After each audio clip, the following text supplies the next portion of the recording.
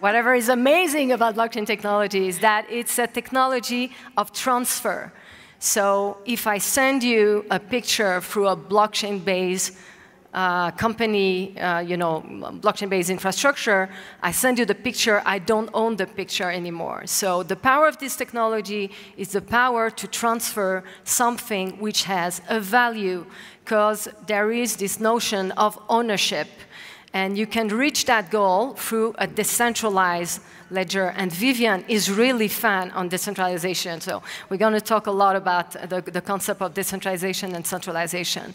But what you need to understand is that anything you own, you can own it in a digital form and transfer it to someone else. This is really the major difference, so which makes the biggest disruption ever of the definition of money.